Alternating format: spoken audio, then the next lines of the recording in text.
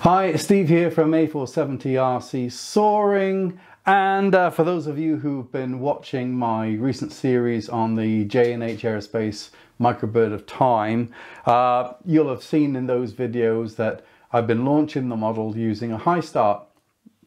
And uh, a few people have, a few viewers, should I say, have been asking how I made that high start. And it's pretty simple. So I started off by purchasing a pack of 1 8 inch FAI flight rubber. Now, this is the stuff um, that is used to power rubber powered model aeroplanes.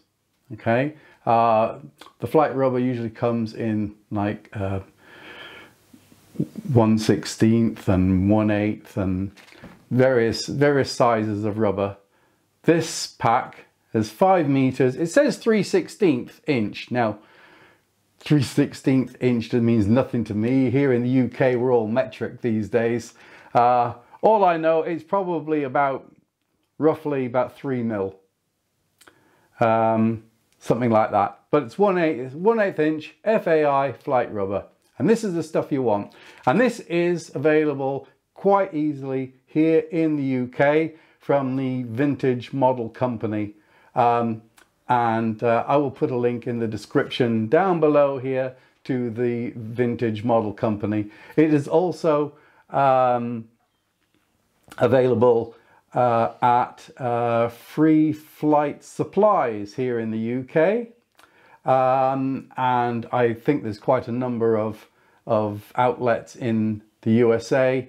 Um, J&H Aerospace, where I bought the, the Microbird of Time from, they also supply the rubber. So uh, you, you could go to them, you could order, order some of that whilst um, uh, you're ordering your Microbird of Time. okay, so uh, that's, that's the rubber. And it was very simple to put together. Basically, all I did was, it comes in, in one length. It's not a loop. It comes in one length, five meters. And I tied, made a loop tying an, an overhand knot. And I just slid onto there a little bit of, of heat shrink tubing. Now, it, actually, I didn't quite do that right. That was my last bit of heat shrink tubing uh, that was big enough to fit on, on there. So I really, when I make my next one, uh, it'll all be, um, I'll have a bit of heat shrink tubing all around there just to give it a bit more uh, strength. Um, and this is the end that is going to be used at your stake end. Okay, now whatever you're going to use as, as a stake. Now, there isn't a great deal of pressure on this high start. This isn't like my other high start, which I have for, for the bigger models, which has got like 30 meters of thick silicon tubing, followed by 90 meters of, of heavy um, fishing line, you know, it, and uses one of those curly uh, dog spikes, dog lead spikes to, to hold it down.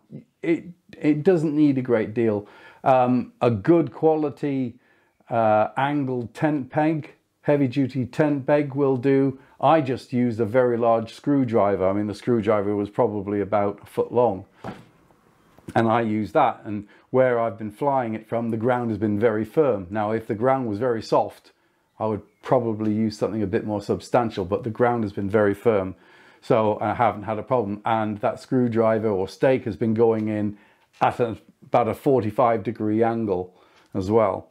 So, uh, and that goes around, around your stake. So it's secured and not going to come off.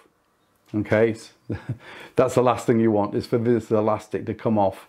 Okay, so it's just a simple overhand knot. But before I tied the knot uh, and before I did anything else with the rubber, I actually lubricated it just as you would uh, in a rubber powered model. And for that, I use this stuff. So this is from Dow Corning and it's Molykote 33 medium. It's, um, this says it's an extreme low temperature grease. It's, it's, you probably can't see this. It's a thick white paste. It's a silicon grease basically. And uh, you only need a tiny little bit. And I put it inside a clear plastic bag, just just a little drop of it, put my rubber in there, give it a good old rub around, get it coated, and that's done. But it's just going to prolong the life of your rubber. Okay, and I did put a little bit on the knot before I tied the knot um, because tying when you tie a knot in in a rubber, then the rubber is going to um, bite into itself and it, it could damage the rubber and that's the last thing you want. Okay, so I've got five meters of this rubber and then at the other end, I slid the rubber through a fishing swivel with a, uh, a snap link type connector. Okay, and then I tied another double overhand knot to secure that. So I needed to connect the next bit of line to the elastic and I didn't want to tie it directly to the elastic because I thought it would probably cut into it. So this way I've been able to create a link. You don't need a particularly big swivel for this. This is micro stuff we're talking about. You know, when you're pulling your model back on the line, you're not going to be pulling a great deal of pressure.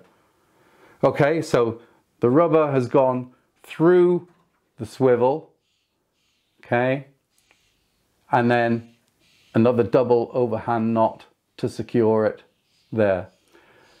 And then attached to that snap link, so if I wanted a, a, another length, uh, make up another length of line, which was longer or shorter, for instance, I can just unclip that from the swivel, attach the line to it, and I and it's job done. I'm not having to mess around at the field. I, I can have it done in seconds.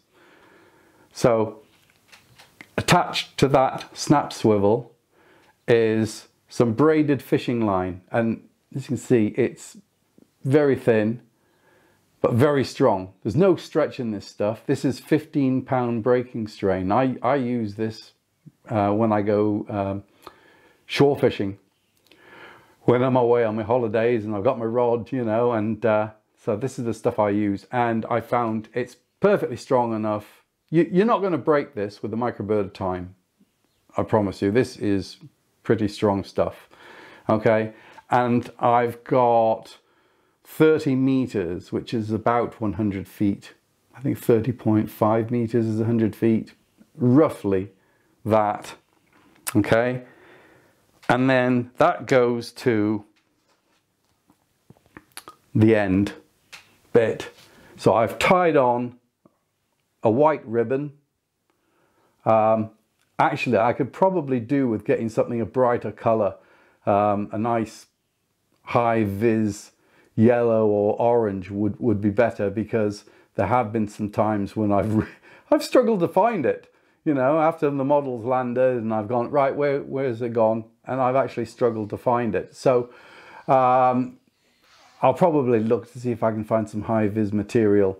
Maybe I've got an old high-vis vest or something I can, I can cut up and use. Uh, and then that goes to, I tied a loop uh, in the end of that, and that goes to a small uh, split ring.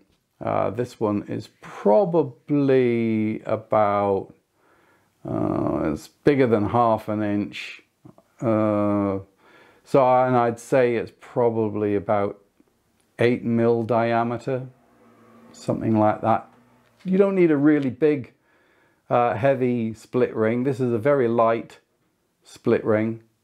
Um, and that goes to the tow hook. And basically that is it. Um, I've had a, a lot of launches on this, not had any problems at all. I've got a spare length of rubber in here, which I always take with me, ready to go, just in case the rubber was to snap on me, because it's not going to last forever. Uh, but I have to say that I haven't been stretching it to its full extent. I haven't been pulling it until it's like straining. I haven't felt I've really needed to. So maybe that's something I should do. Let me know if, if you think that I should be pulling that a lot harder. If you've been watching the videos, what, what do you think? There is another question I wanted to ask you guys, and that is, as I said, I've got um, five meters of rubber and uh, 30 meters of line. Could I have a, a longer length of line? How much more line could I actually add? Could I add another 20 meters possibly? Or another 10 meters um, to give me that little bit more height? Now the field I'm flying from, I can use my full size high start on there for the bigger gliders, but I tend not to because there are other users on the field and the field isn't that big. But this, uh, this high start for this small plane is ideal. I can, I can get away with it nice and easy. But could I get away with adding a bit more line to, uh, to this high start? I say another 20 meters. That would be, that would be quite nice. Uh, if I could, 10 meters, I, uh, that, that'd be, be good also. But let me, uh, let me hear from you guys. Put, put a comment down below and uh, let me know if, if you think that that would be okay for me to do. And I can, uh, I can try that uh, sometime in the near future, hopefully. So anyway, that's it. Um, just let me tell you that next week's video will be out on Monday. I'm back on the slope uh, with my one of my flying buddies, Nick. Um, and then the video after that in two weeks time, that's another one on the, on the slope. That's already, already filmed, edited, in the can, as they say. Okay, so um, yeah, until then, Take care. Happy flying.